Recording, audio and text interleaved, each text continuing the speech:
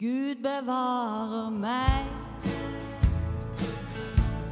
i kampens tid. Når trengsler kommer og min styrke er forbi. Gud bevarer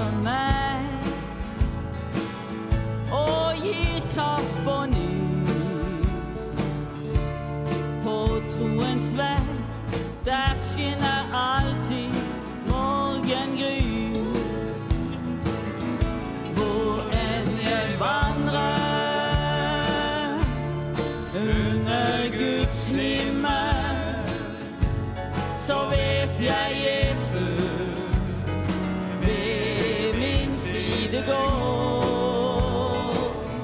Han bevarer meg ved sin underfulle nåde.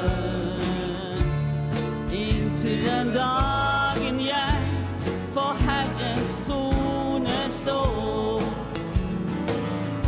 Gud bevarer meg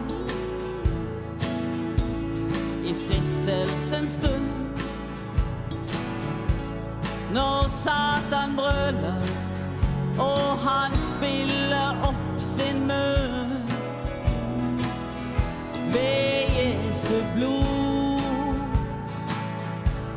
Jeg seier får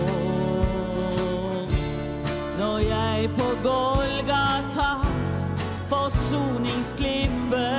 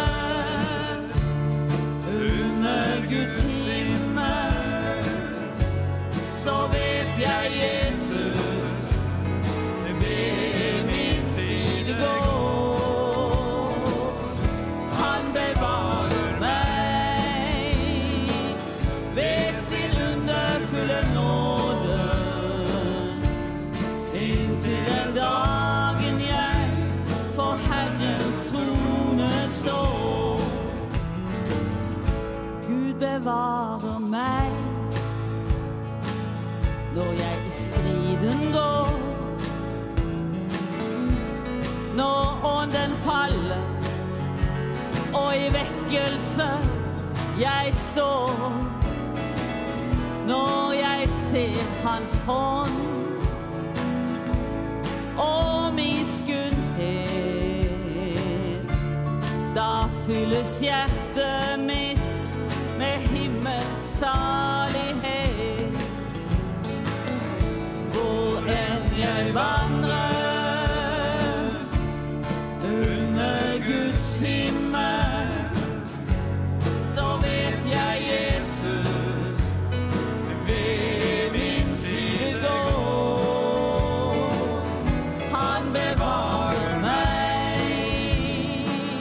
ved sin underfulle nåde.